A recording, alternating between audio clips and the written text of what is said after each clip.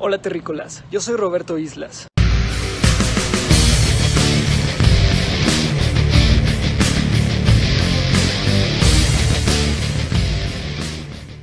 El día de hoy voy a asistir a un Coffee Freaky con los miembros del club de Star Wars de San Luis Potosí.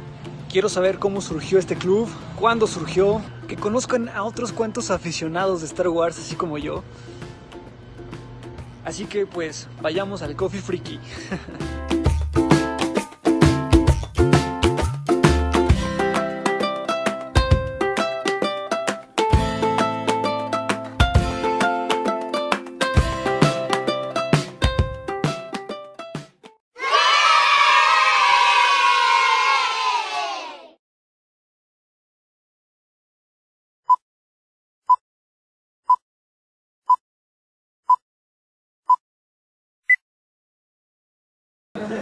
Estamos aquí con Florencio y con Rodrigo y vamos a hacer el unboxing de estas preciosas figuras.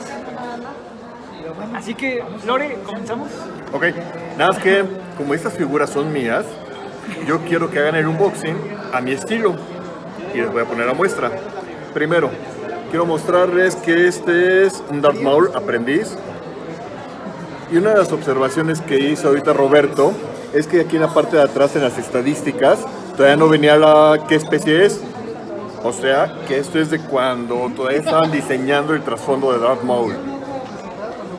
Me encanta, sobre todo este personaje, este, esa figura, por el color que usa con su bata.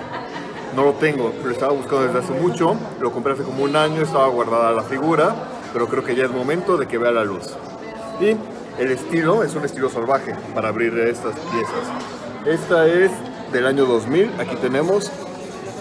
Entonces eso quiere decir que esta figura tiene 18 años.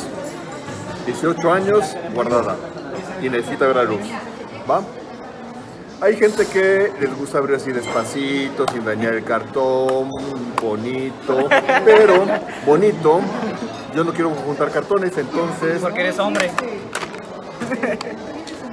vamos a abrirlo de una forma un poquito más ruda, con más testosterona.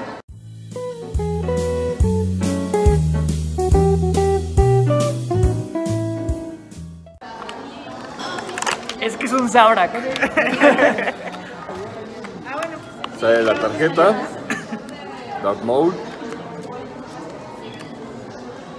Algunas de su. Viene su equipo, la nave. Algunas características. Y ahora sí, lo más importante.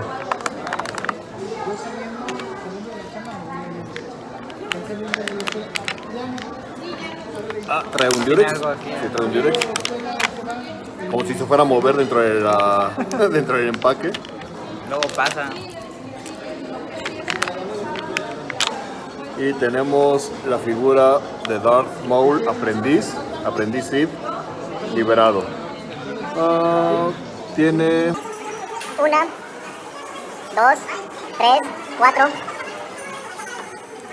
cinco, seis puntos de articulación.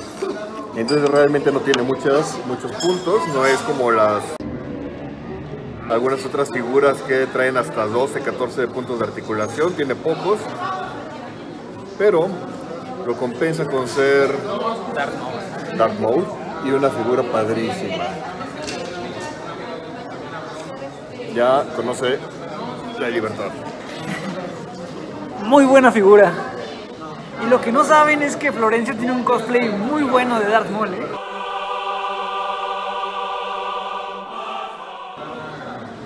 Por eso está calvo. Sí, por eso me rasuro, para poderme pegar los cuernitos. Bueno, ahora sigue esta figura del episodio 1. Este es de 1999.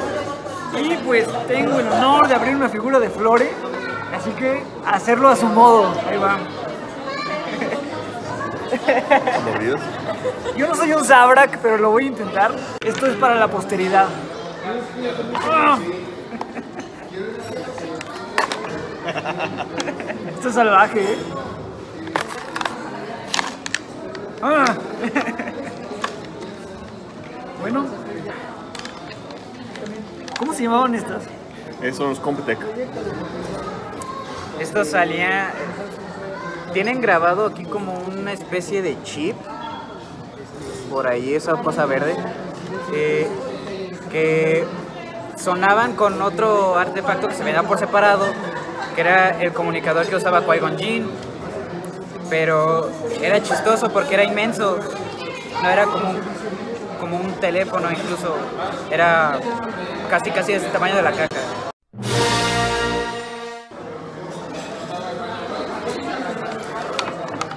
Ya todo cuidadoso.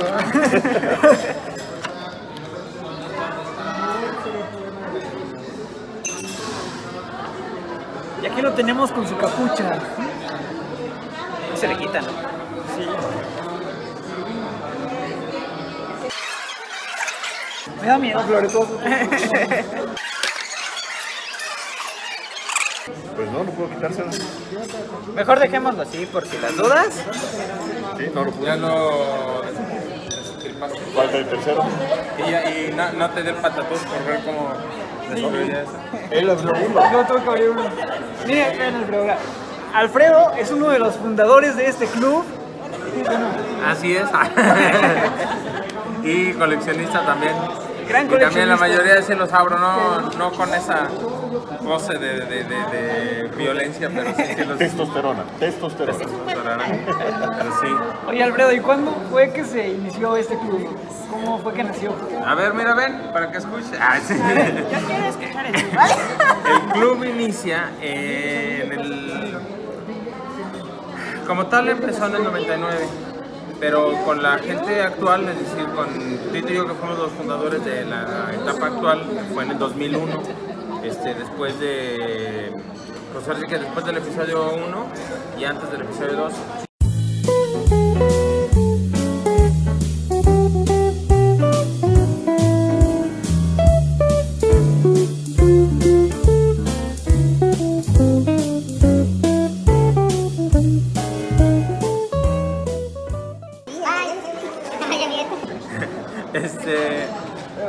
Había una tienda que estaba en Nicolás Zapata, que estaba de Xmanía, y ahí vendían muchos juguetes antiguos. este, y ahí fue donde empezamos como a coincidir varios de los coleccionistas, juntábamos vintage, juntábamos en general de todo lo nuevo. Y entonces ahí empezó la idea de, bueno,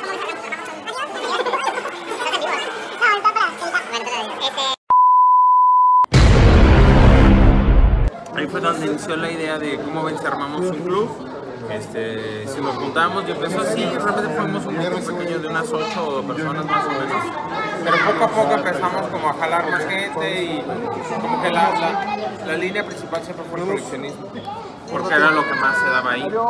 Y ya después de eso, pues ya empezamos a ir a convenciones, tanto nacionales como, como- como locales. Este, y pues empezamos a añadir gente. Y, y ahora sí que bueno, vino el, el- la primera del episodio 2, la, la del episodio 3, ahí fue donde ya hubo más, más gente.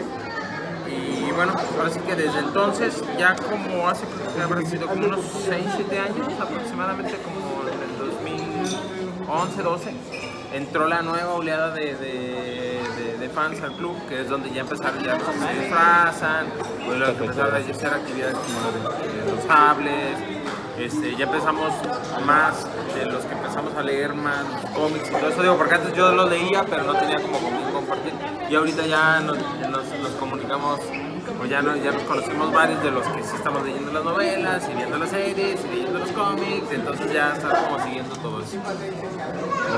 Pues mira ya cómo está el club, lleno de gente. Ya, muchísima, muchísima gente. Sí, la verdad es que ha estado muy padre. La verdad es que pues ya tenemos 17, 17 años de actividad.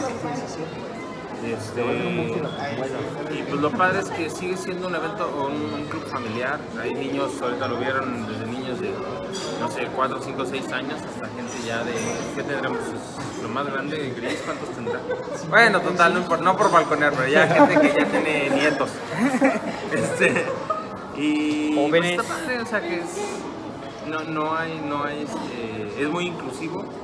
Este, hay actividades para todo tipo, para los que les gusta disfrazarse, los que les gusta leer, los que les gusta coleccionar, los que les gusta, este, no sé, armar eh, modelos, etcétera. Entonces eso, eso está fregón. Y pues la relación que tenemos también con fans de otras partes del país, incluso de otras partes del mundo, que también enriquece mucho la onda de que ay, vas a Guadalajara, vas a Morelia, vas a, no sé, a Puebla y te encuentras a, amigos fanáticos y eso también muy cool. Y bueno, ya quiero abrir esta cosita. Hasta luego platicamos más de sin que, me estén corriendo. Bueno, esta es de la misma serie que el primer, la primera figura, es The Power of the Force. Eh, no había Power of the colección. Jedi. Power of the Jedi. Entonces, no, no es de la misma serie. Este es del 2001 y este Jedi, a lo mejor no lo conocen, que es lo más seguro porque yo tampoco, pero eh,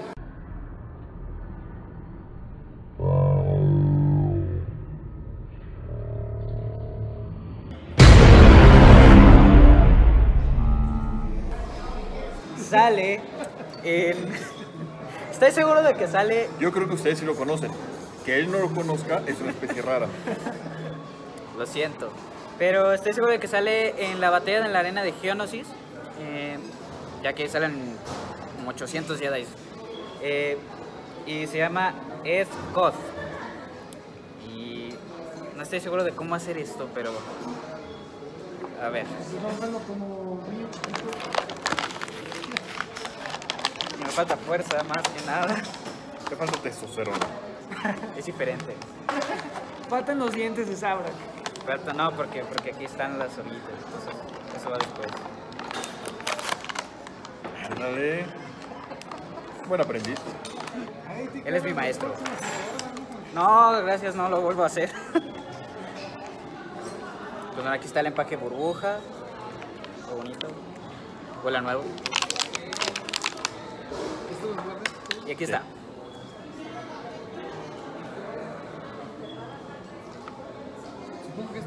Algo a destacar es que antes. Antes les ponían cariño a la pintura, véanle las caras. Ahorita ya no tanto, lo cual es decepcionante, pero pues tenemos aquí dos Sith y un Jedi. Una característica de esta colección de Power of the Jedi del episodio 2 es que los Jedi que salieron en esta serie tenían poses de batalla. Entonces Ay, va a ser va a ser común que los encuentren ya eh, en una posición y tengan poca movilidad. Entonces en- entonces este es uno de ellos. Se puede ver como el cabello tiene movimiento. Acá está moderado como si estuviera en plena batalla, así como la mano y las mangas. Normalmente cuando empezaron a salir esas mismas figuras que tenían más de 10 puntos de articulación, se batallaba mucho para pararlos. Entonces yo creo que eso era una pauta para, o el pretexto para pues, hacerlos de esta manera. Gracias. Y bueno, hoy tuve un unboxing de Sabrax. Muy buen unboxing. Yo tenía a, a- a Shakti y la vendí. Yo tengo a Shakti y tengo al otro Jedi que es eh, un Nicto, que tiene también este como cuernitos eh, de esta colección y a Plo Koon. No, Uy. a Sai Setin de esta misma colección, sí. Yo tengo un Anakin pero sin brazo, ¿De esta colección? de episodio 2. No, No, de Star Trek no. Star Trek. bueno amigos, eso fue todo por hoy. Y hasta la próxima. Gracias.